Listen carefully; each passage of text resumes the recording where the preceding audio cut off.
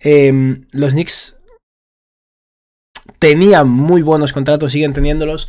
Eh, ahora va a haber un se viene un verano complicado en ese aspecto, porque es cierto que Branson tiene un contratazo, aunque bueno, no sé cuándo, durará un año más, pero bueno, Branson tiene un contratazo, Randall tiene un muy buen contrato, Divincenzo tiene un contratazo, Mitchell Robinson desgraciadamente apenas juega, pero tiene un buen contrato. El problema es que este, este verano será gente libre Hartenstein, que creo que no va a poder mantenerlo. Yo creo que Hartenstein se va a ir a otro lado con un contrato bastante elevado probablemente.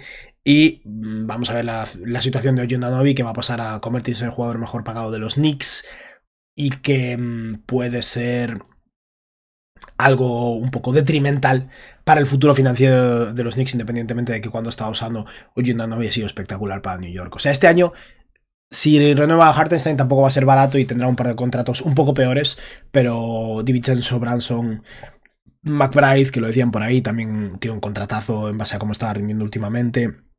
El propio Randall. Eh, sí, no, los Knicks. Eh, desde el cambio de, cúpula directiva, desde la llegada de Leon Rose, los New York Knicks tienen a alguien con mucho cerebro ahí arriba que está tomando muy buenas decisiones y la verdad es que la gestión está siendo excelente. Y se nota. Se nota en porque cambio de aires que hemos visto en New York a lo largo de los últimos tres añitos más o menos ha sido, ha sido bastante sustancial.